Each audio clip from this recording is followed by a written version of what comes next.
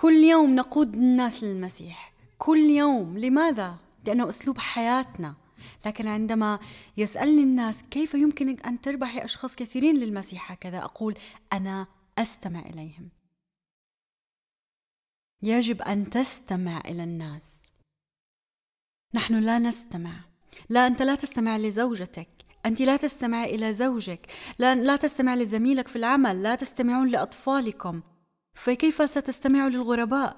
هل تعرفون ما الذي يمنحكم إياه الاستماع والاهتمام بالآخرين؟ ستبدأ بالاستماع للروح القدس والاستماع إليه. إنه شيء مربح للطرفين عندما تبدأ بالاستماع للآخرين والاستماع للروح القدس. وقتها ستستمع إلى آلامهم. عندما تستمع لرغباتهم ما يحبون وما يكرهون أن تستمع إلى أسمائهم. نعم إذا كنت تريد أن تكون رابح نفوس جيد يجب أن تعرف أسماءهم. ذلك الرجل الذي صادفناه في المدينة. كنا نخاطب بسيدي. لماذا؟ لأننا نريدهم أن يشعروا باهتمامنا واحترامنا لهم. الاستماع هو الاحترام. الاستماع يجعلك على صلة وتواصل.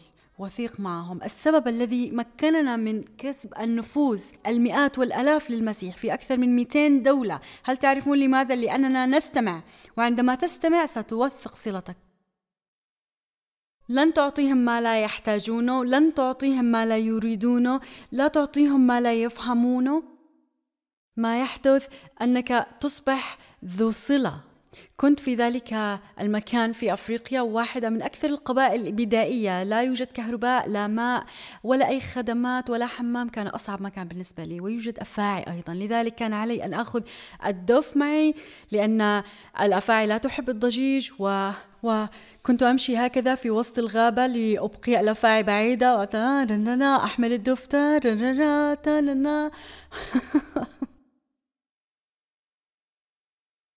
وهكذا أبقيت الأفاعي بعيدة. وبعدها كنا نقوم بخدمات توعية كنا جزء من خدمة كبيرة. الكثير من الناس كانوا حاضرين وقتها كانوا يشاهدون فيلم المسيح كان مترجم ومدبلج بلغة القبيلة الخاصة بهم. و الكثير من الناس سلموا حياتهم وآمنوا بالمسيح في تلك القبيلة. كان جميل جدا مكان بدائي جدا لكنهم اعترفوا وأقروا بطريقتهم الخاصة بحاجتهم إلى مخلص وسلموا حياتهم ليسوع المسيح. وبعدها كان هناك مبشرون آخرون حاضرين يعظون بالناس. لم يكن المؤتمر والخدمة خاص بنا وحدنا وأتذكر ذلك الرجل وقتها كان قادم من هنا من الولايات المتحدة كان قد تخرج حديثا من معهد اللاهوت كان لديه شغف كبير أعترف له بذلك. فأخذ الميكروفون وقال هل تعلمون أنكم الآن وقد قبلتم المسيح؟ أنتم جزء من شعب إسرائيل. وكان الناس مندهشون ما هي إسرائيل؟ ثم قال اليهود يعني إسرائيل. وكان الناس مندهشون ماذا يعني يهودية؟ هل, هل فهمتم؟ هذا ليس ذو صلة. يجب أن تعرف كيف تتواصل مع الناس. لم يفهموا معنى حتى يهودية. فقلت لزميلي أنا أعتذر أني قمت بتلك قمت بتلك المزحة كنا مرهقين لكن قلت الآن سوف يفتح المذبح. هذا ليس التواصل الصحيح. يجب أن تكون واقعي وقريب من الناس. إذا كانوا بحاجة للحليب تحدث إليهم عن الحليب. إذا كانوا يحتاجون الخبز تحدث عن الخبز. يحتاجون أمل تحدث عن الأمل. يجب أن يكون كلامك ذو علاقة باحتياجات الناس. لا يمكنك أن تذهب وتخبر الناس بآية من يوحنا الإصحاح الثالث ثم تتوقع من الجميع أن يؤمنوا. الأمور لا تسير بهذا الشكل. إلهنا يتعامل بشكل فردي. الاستماع يعني التواضع. الاستماع يعني اللطف يعني الاحترام والصبر.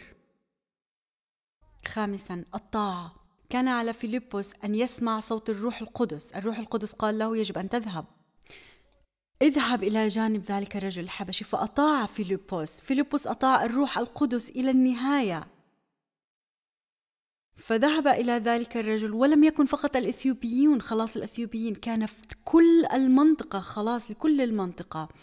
اليوم إذا ذهبت إلى إسرائيل أو الشرق الأوسط ستجد الكثير من الإثيوبيين مسيحيين. كان ذلك بداية خلاص الأمة. وأريد أن أخبركم شيئا. الكل يريد أن يتحدث لخمس ألاف شخص. لكن تذكر إذا لم تذهب إلى واحد لن تستطيع أن تصل إلى خمسة ولن تستطيع إلى خمسمائة شخص ولن إلى خمس ألاف. الكل يريد العدد الكبير. هل تعرفون لماذا؟ من أجل الفخر. أكثر ما أحببت في زوجي وقعت في حبه بالسجن. لم نكن آه، السجناء. لكن وقعت في حبه بالسجن. هل تعرفون لماذا؟ لأن الخدمة بالسجون ليس فيها فخر. عندما تخدم في السجون لن يعرف أحد اسمك. ينادون أبي وأمي.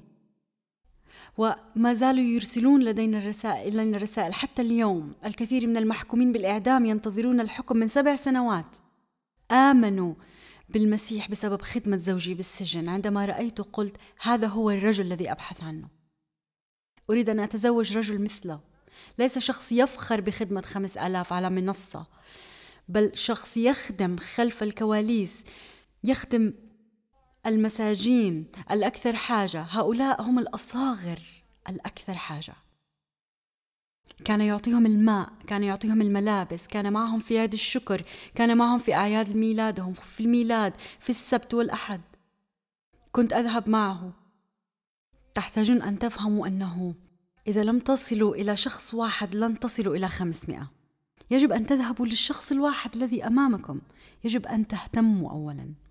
سادسا صلوا. اثبتوا في وأنا فيكم.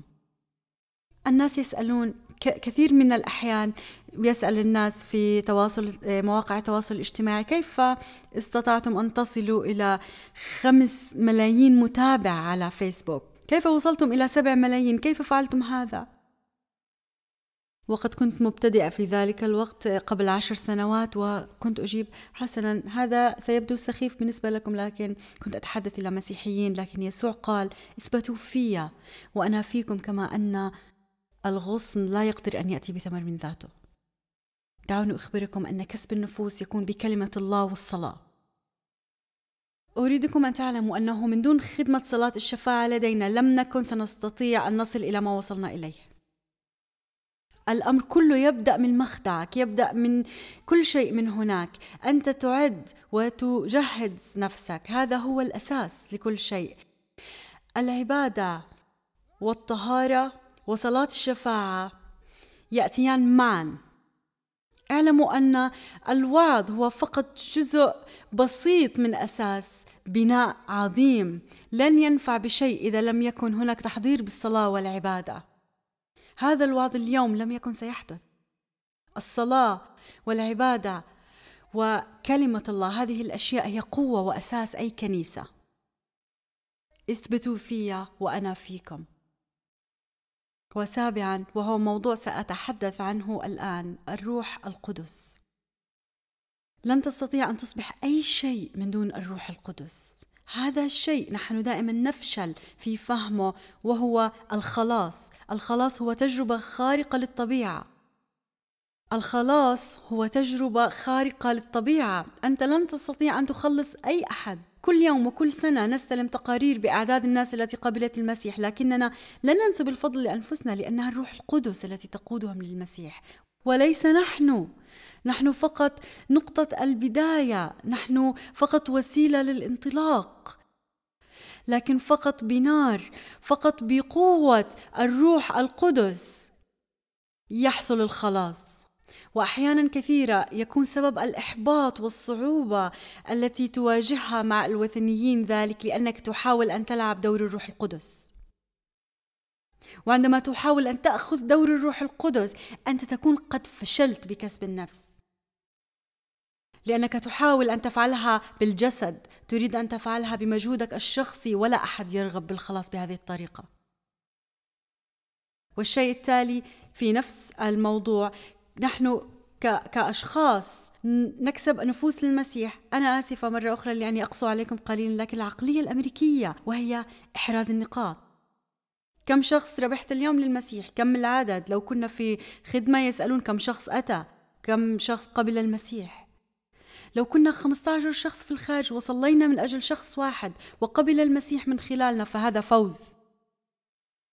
هل ترون نحن لا نفهم ذلك؟ كل فكرنا يدور حول أكبر عدد. أخبرني كم شخص قبل المسيح معكم وأخبركم إذا كانت خدمتكم ناجحة أم لا. هذا تفكير خاطئ جدا. وأيضا يجب أن تدع الروح القدس هي التي تقودك. سوف نأتي لعامل الروح القدس. قوة الروح القدس تجعلكم أقوياء. لكنكم ستنالون قوة متى حل الروح القدس عليكم. وتكونون لي شهودا في أورشليم وفي كل اليهودية والسامرة وفي أقصى الأرض. أعمال الرسل واحد ثمانية. تتجلى قوة الروح القدس في أربع أشياء. في كسب النفوس أول شيء الثمر. أنت تحتاج لكل ثمر الروح القدس. نعم نحتاج إلى ثمر الروح القدس. لأن الناس هل تعلمون ما هو ثمر الروح القدس؟ كيف تعيش حياتك؟ كيف تتصرف؟ كيف تكون شاهد للرب؟ في أي مكان تكون فيه؟ لا تحتاج أن تقول أي شيء. لن تحتاج أن تتحدث عن يسوع المسيح. فقط ثمر الروح القدس يجعل منك شخص لطيف. ينظرون إلى علاقتك بزوجتك يرغبون أن يصبحوا مثلك. سيرون كيف تتعاملين مع زوجك يرغبون أن يصبحوا مثلك. سيرون متى صبركم عندما يتأخر تقديم الطعام بالمطعم مثلا أو يتم خدمة أشخاص قبلكم. كل هذا يخبر عنكم وعن ثمر الروح القدس في حياتكم. الروح القدس ليست موهبة تعطى بل هي ثمر يظهر من خلال أسلوب حياتنا. قال المسيح من ثماركم يعرفونكم أنه الثمر قولوا ثمر. أحتاج إلى ثمر؟ نعم نحتاج إلى ثمر الروح. هذا ما يدل علينا. الثمر هو ما يشهد عنا المحبة الفرح السلام الصبر. كل هذه الأشياء هي أساس بناء الشخصية المسيحية الثمر. والشيء الثاني هو المواهب الروحية. نعم المواهب الروحية مهمة جدا لكن أولا يأتي الثمر. لا شيء أهم من ثمر الروح. لا أهتم للمواهب. لا أهتم إذا كنت تستطيع أن تتنبأ لكن ليس لديك تواضع. إن لم تكن لطيفا ومحبا لا أهتم لحجم معرفتك. لو كنت تستطيع تحريك الجبال بإيمانك وليس لديك محبة فلا أهتم. لا تخبرني عن المعرفة والعجائب التي عندك إن لم يكن لديك ثمر. وبعد ذلك المواهب. نعم يقبل الناس المسيح من خلال المواهب الروحية. وكلمة المعرفة والنبوءات الشفاء العلامات والعجائب في الكثير من الأحيان. وأنا في المطعم أنادي النادل أو النادلة وأقول لهم الله وضع على قلبي كلمة لأقولها لك. هل تسمح لي؟ فيجيبون بالطبع هذا مثير للاهتمام. فأقول حسنا أشعر أن الله يخبرني أن أقول لكم هذا فيبكون.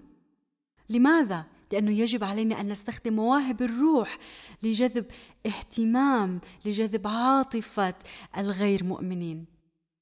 تصبح كالمغناطيس.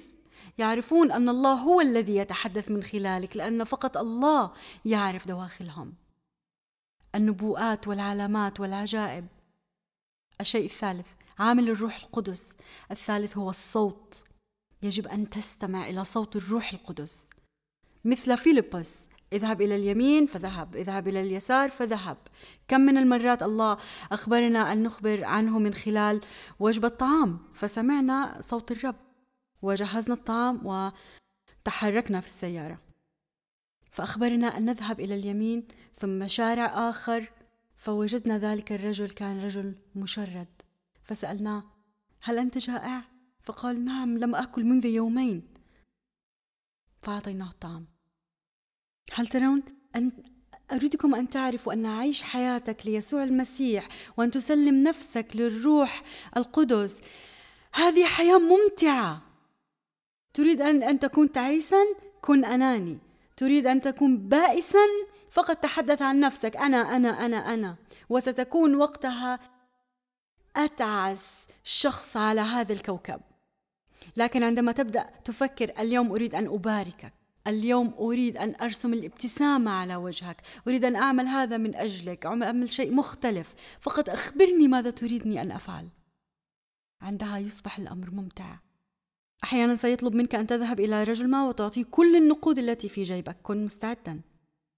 كن مستعدا. أحيانا ممكن أن يطلب منك هذه الأشياء. هل رأيتم كم نحن بعيدون عن تلك الحياة؟ هناك آه، أم عازبة أم آه، أرملة أشخاص يمرون بحالة طلاق صعبة. أعطيهم مئة دولار أو أي شيء لتشجعهم لتشجعها.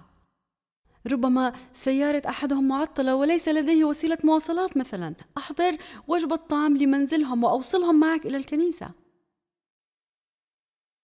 هذا هو أن تتبع الروح القدس. ورابع شيء من عوامل الروح القدس والحكمة الحكمة هي أن تعرف ماذا تفعل وأين تفعل. أنت لا تسير بحسب حكمتك الشخصية وتتوقع أن تخلص الناس. أنت تمشي حسب حكمة الله لتخلص الناس. أنت تحتاج أن تستخدم الحكمة مع أطفالك الضالين. ليس بهذا الشكل. أو أخبرتك ولكنك لم تفهم آه، كل شيء بحياتك سينهار إذا لم تأتي إلى الكنيسة كل يوم أحد؟ هل تتوقع أن يأتوا إلى الكنيسة بعد ذلك؟ إنهم لا يأتون إلى الكنيسة من الأساس لأنك شاهد سيء في المنزل. أوه أوه. آسفة لا أقصد أن الجميع هكذا لا أقصد هذا بالطبع لكن حتى الله هو أفضل آب هو الكامل. ومع ذلك كان هناك عصيان. لكن في كثير من الأحيان ترى بيوت المسيحيين وتتساءل لماذا أطفالهم لا لا يتبعون المسيح في حياتهم. أستطيع أن أخبركم ما الشيء الناقص الثمر. لم تكن النبوءة ولا حتى الكلمة كان الثمر. إذا لم يروا ثماركم لو كنت تقسو عليهم بالكلام لو تعاملت معهم بقسوة ولؤم لو كنت لئيم وغير لطيف مع الآخرين فلن يرغبوا أن يكونوا مثلك. إنه الثمر. ثم أن الحكمة تدلنا على الطريق وترشدنا. هذا ما فعل الله مع فيلبس. قال اذهب. افعل. هكذا أنت يجب أن تطيع. والمسيح أعطاهم هذا المثل. لقى 15 3 4 و 6 7 فكلمهم بهذا المثل قائلا أي إنسان منكم له مئة خروف وأضاع واحد منها ألا يترك التسعة والتسعين في البرية ويذهب لأجل الضال حتى يجده؟ ويأتي إلى بيته؟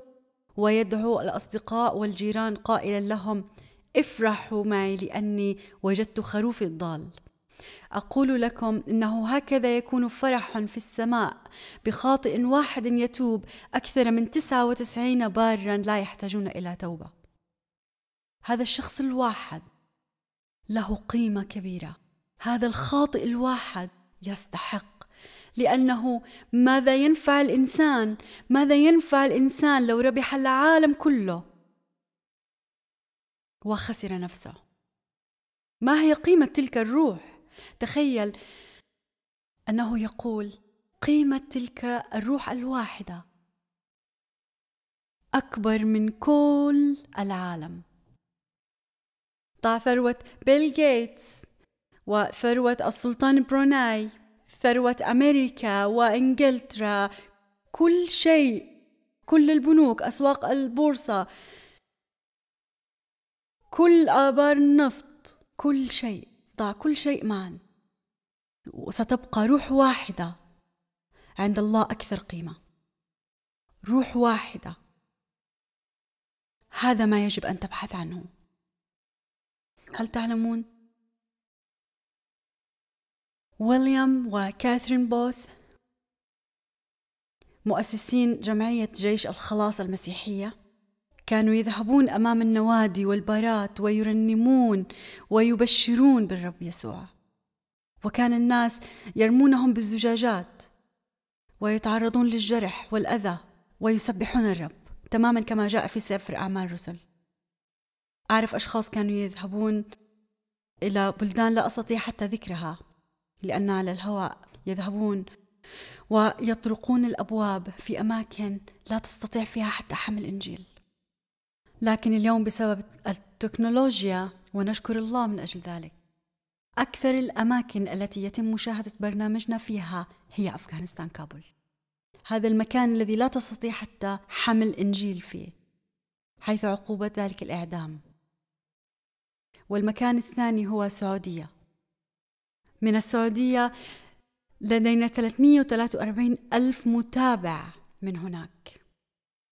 نحن نخدم على الإنترنت طوال الوقت. أريد أن أخبركم عن هذا الرجل السعودي الذي راسلنا وقد بدأنا بالرد عليه وهذا قاده من بعد ست أشهر من التواصل معه قبل المسيح. كان رجل ذو سلطة في بلده. لكن أريدكم أن تعلموا أن ذلك لم يحدث بعد رسالة واحدة أو اثنتان ست أشهر من التواصل معه. لا تتوقع أن يخلص جميع الناس مرة واحدة.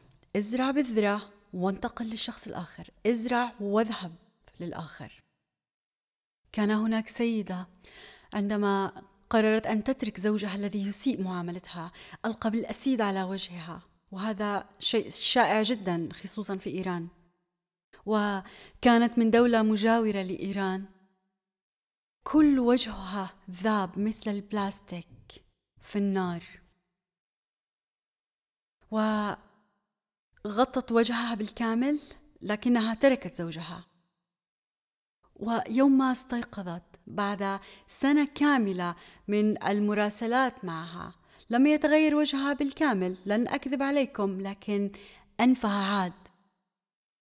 وشفتاها عادت. بأعجوبة رجع وجهها لكن الباقي بقي كما هو لكن أغلب ندوبها بقيت. فبكت للرب وقالت يا رب أنت غيرت أنفي وأعطيتني واحد أفضل ورجعت شفتاي لكن لماذا؟ قال لها أبقيت تلك الندوب حتى تكون شهادة للآخرين. أحيانا تكون ندوبك غير مرئية لكن يمكن رؤيتها. عندما قام العازر من الموت ومشى علم الجميع أن ذلك الرجل كان حي بسبب يسوع المسيح. لذلك اليوم سوف نفتح المجال للصلاة لكي تأتوا وتصلوا من أجل معمودية الرحمة معمودية التعاطف. معمودية الثمر والمواهب الروحية. أي شيء تحتاجونه لكن الله يعلم ما تحتاجونه. لتصبحوا رابحين أرواح للمسيح في كل يوم من حياتكم. أنت تعيش ميراثك. ما تعيشه اليوم هو الميراث الذي ستتركه للأولاد. أريد أن أسألكم كيف تريد أن تكون جنازتك؟ كنت أعرف ذلك الرجل الرائع توم. كان أبي الروحي. ماجستير من جامعة هارفارد. رجل الله رائع. وكان قد خدم معي لسنوات وأثر على حياتي. في يوم ما انتقل لعند الرب. حزنت كثيرا لفراقه لمدة سنتين. كان وقت صعب وخسارة كبيرة. أعني أين تجد شخص بعد الأربعين يناديك يا طفلتي؟ كان شعور رائع وقد تعلمت منه الكثير لكن قد كان عبقريا لكن متواضع. عندما ذهبنا إلى جنازته حفل التأبين كان هناك أكثر من ألف شخص. لم يكن اسمه على لوحات إعلانية لن تعرفه. لن تجده على فيسبوك. لم يكن لديه الكثير من المتابعين. لم يكن يظهر للعلن. لكن كل أطفاله الذي قادهم للمسيح. كلنا كنا هناك. وكانت أمنيته التي تركها في وصيته بدلا من إرسال الزهور أن يتبرع الجميع لخدمة إيشي قبله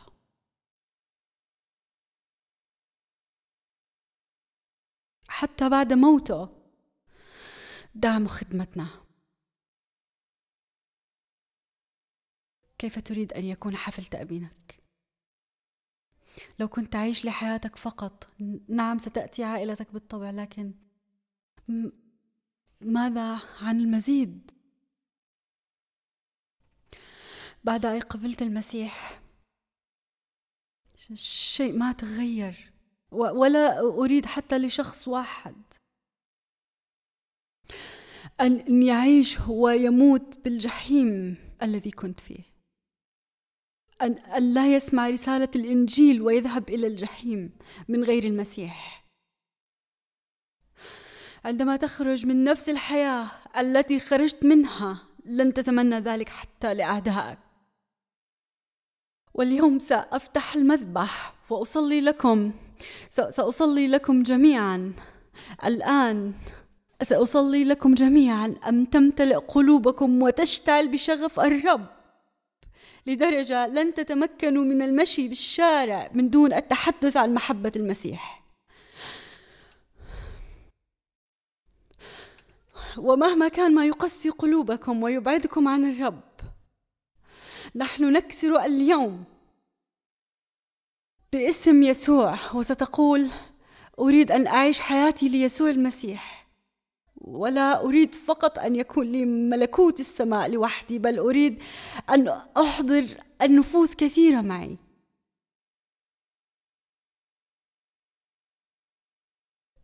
لهذا السبب أحيانا كثيرة أصاب بالإحباط. أقول انظروا للصورة الأكبر للصورة الأعظم.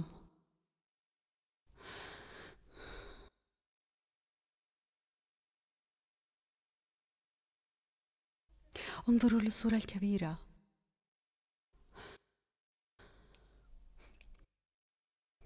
ولا ولا تقلق بشأن كسب النفوس فقط كن لطيفا. ابدأوا بذلك. دعنا نكون أشخاص لطيفين.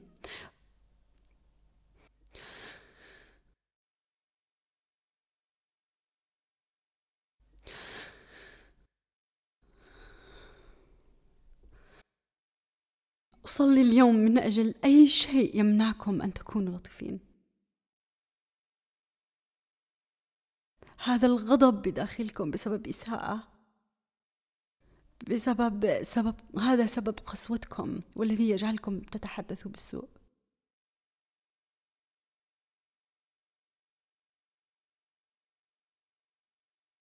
كان لأبي روح قاسية. دائما كان يسخر من الأشخاص ذو الوزن الزائد. هذه روح سيئة متجذرة من إساءة تعرضنا لها بالطفولة. لكن بعد أن قبل المسيح أصبح شخص لطيف. كان دائما يرى وينتقد ضعف ونقص الآخرين لكن حتى هو رجل قاسي مثله. أصبح من ألطف الأشخاص الذين أعرفهم. لو كان بداخل قلبك تحيز وحكم على الآخرين لن تستطيع أن تصبح رابح أرواح. لن تصبح.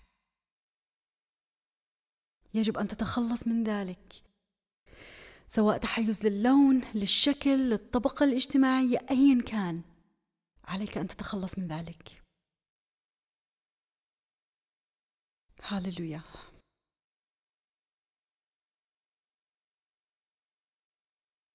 أصلي الآن لكل الموجودين هنا. أصلي من أجلكم ومن أجل عائلاتكم ومن أجل كل ضال أن يرجع باسم يسوع المسيح. أصلي الآن أن يغير الرب قلوبكم.